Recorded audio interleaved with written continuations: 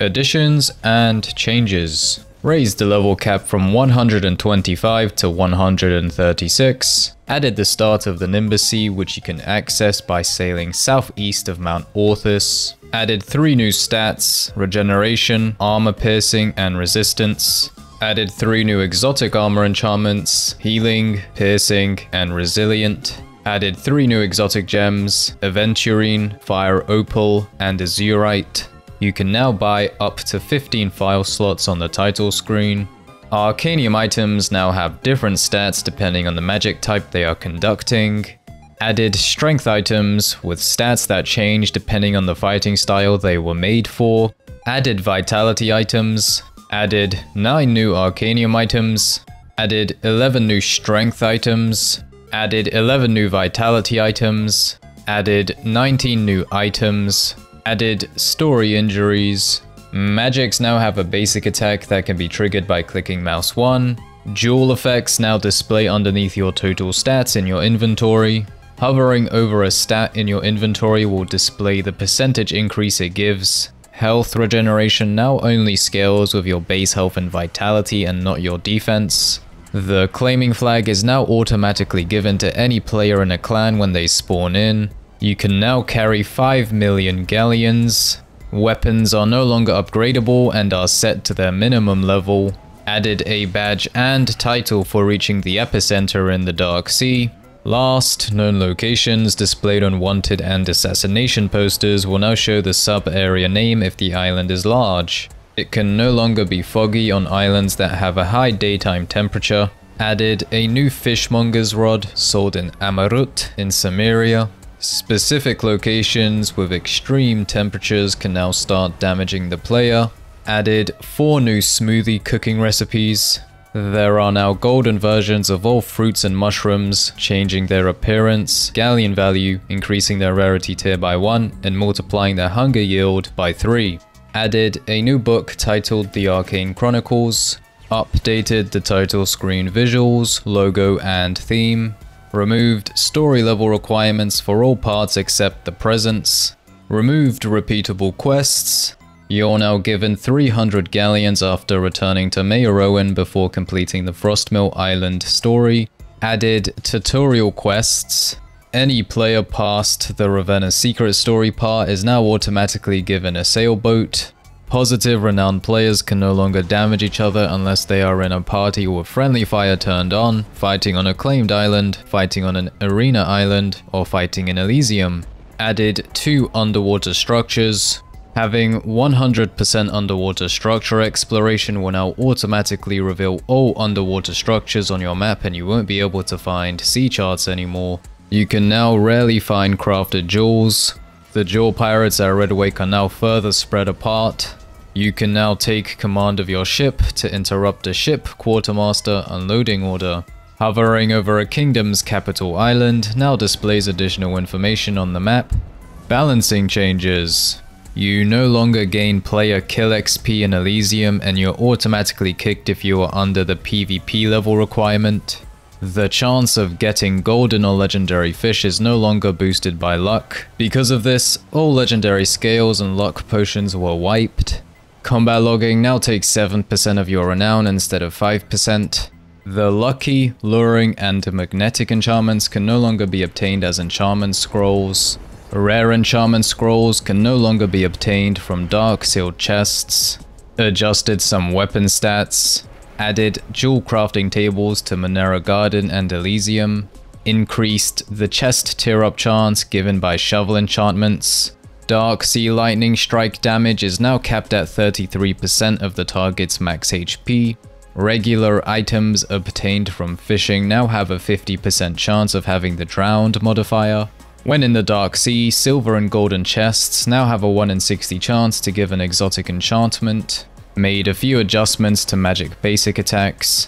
You can now only use your dodge reflex once midair and momentum retained has been reduced by 20%. Attack speed is now 25% less effective. Adjusted the raycast of the beam spell and bullets and gun related skills.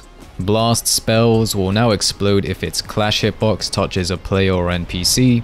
reduced magic basic attack power stat efficiency from 50 to 25%, removed the knockout mechanic that certain grab abilities used, all stuns no longer lock you in place, instead they apply a 50% slowness that lasts for 1 second, made the visual size and hitbox size of certain abilities now scale with attack size and size affinity, adjusted the multipliers of a few movement abilities, spell and technique energy costs will always take the same percentage of energy regardless of build or stat points, reduced the per stat scaling of attack size for spells, techniques and weapons when used by non-savant hybrid builds, changed the cap out for being considered a hybrid or full build, Slow magic imbuements now only affect the speed of attacks at 50% efficiency instead of 100%.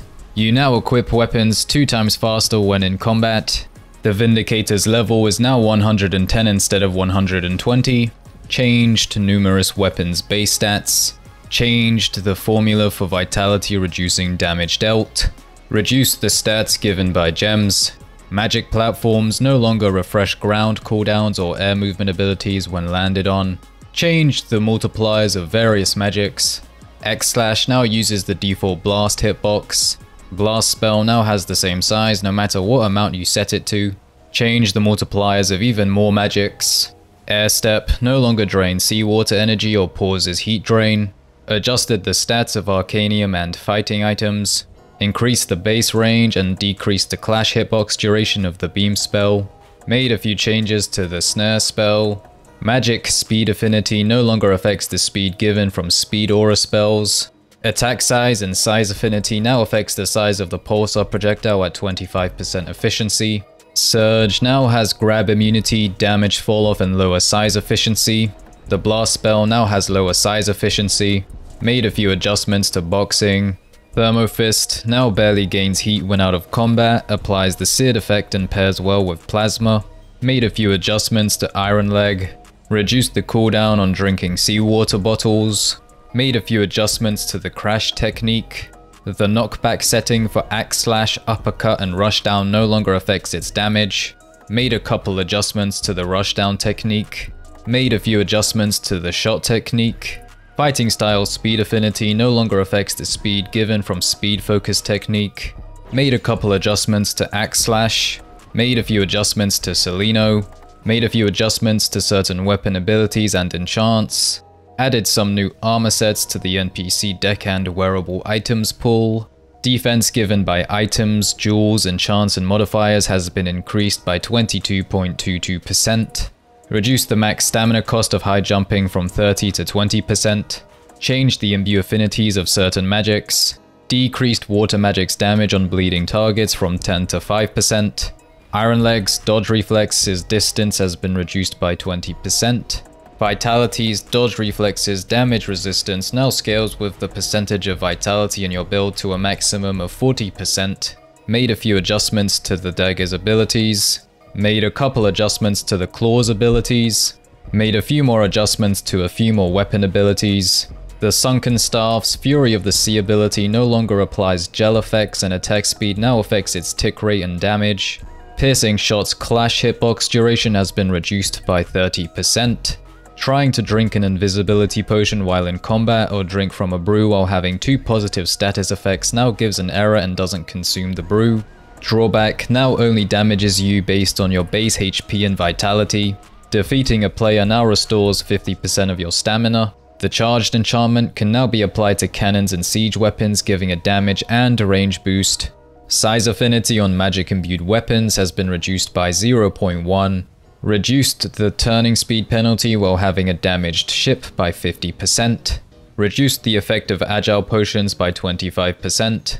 The healing effect cooldown has been increased from 1 minute to 2 minutes.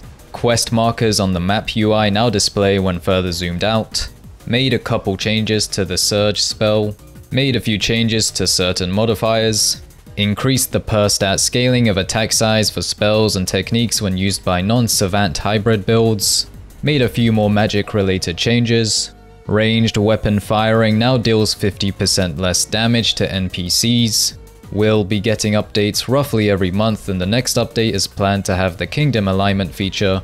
There will be an Easter event. Vetex is disappointed in how this update turned out, but he hopes the new update cycle makes up for it and it's only gonna ramp up from here. And that's it. Make sure to like the video and subscribe, but only if you want to of course. Have a wonderful rest of your day my fellow Magma Munchers. Brand new.